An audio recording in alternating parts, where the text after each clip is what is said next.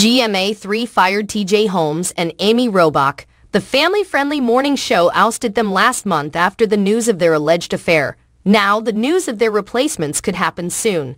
Keep on reading to learn more. GMA3. What you need to know teases big day coming. The GMA3. What you need to know talk show teased a big day that happened. This week was wedding in a week. The morning show revealed that there are surprises to come.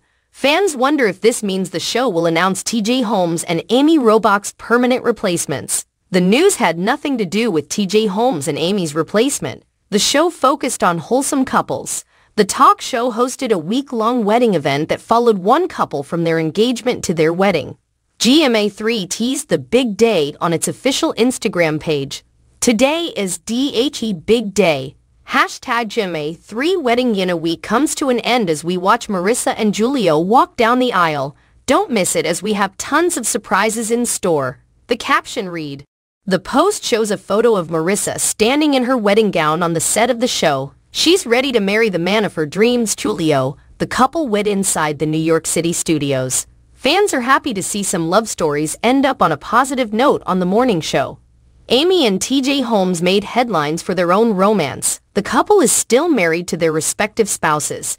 In late November 2022, the details of their alleged affair leaked. They went on an extended suspension in early December 2022 in lieu of an ongoing investigation. ABC News President Kim Godwin confirmed what everyone was thinking. GMA moved on without the fan favorites. They ended up with a severance package after mediation with ABC.